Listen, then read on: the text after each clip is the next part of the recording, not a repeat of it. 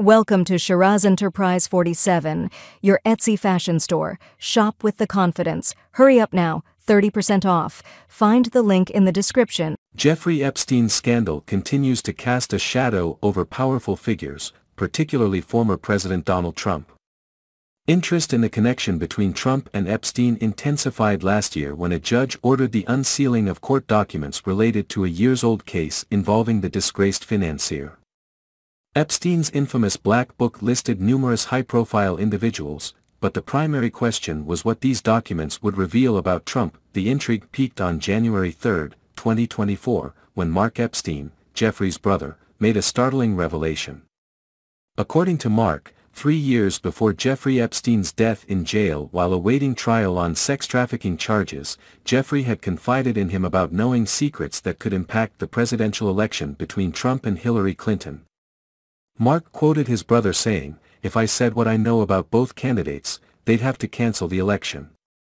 Despite this bold claim, Mark Epstein admitted he was unaware of the specific information his brother referred to. Although Trump and Bill Clinton were mentioned in the documents released in early 2024, no definitive evidence of wrongdoing surfaced.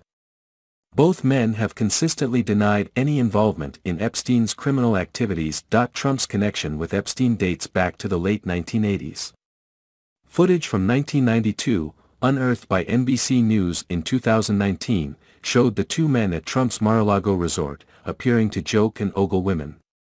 Trump later claimed they had a falling out years before Epstein's 2005 arrest in Palm Beach, where he was accused of paying a 14-year-old girl for sex.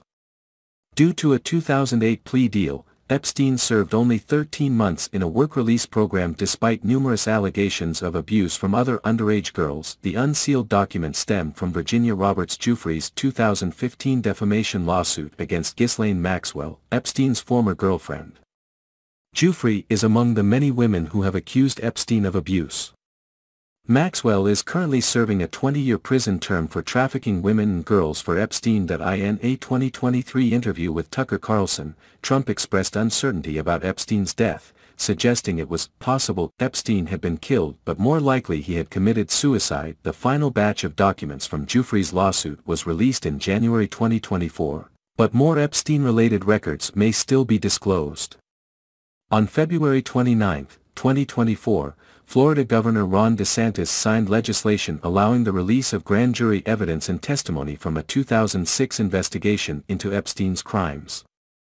This law permits the public disclosure of grand jury records under specific conditions. During a June 2024 Fox and Friends interview, Trump was asked about declassifying federal files, including those related to Epstein. He initially agreed but later retracted his statement regarding the sex trafficker.